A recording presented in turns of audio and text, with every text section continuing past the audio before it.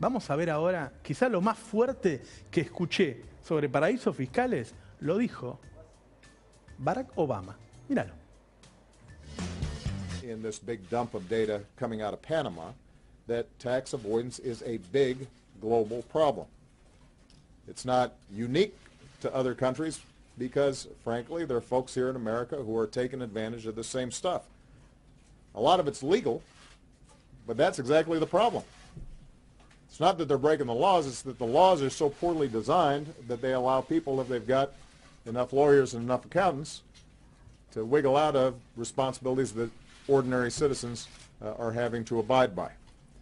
Here in the United States, there are loopholes that only wealthy individuals and powerful cor corporations have access to. They have access to offshore accounts, and they are gaming the system. Middle-class families are not in the same position to do this. In fact, a lot of these loopholes come at the expense of middle-class families because that lost revenue has to be made up somewhere. Alternatively, it means that we're not investing as much as we should in schools, in making college more affordable, in putting people back to work, rebuilding our roads, our bridges, our infrastructure, creating more opportunities for our children.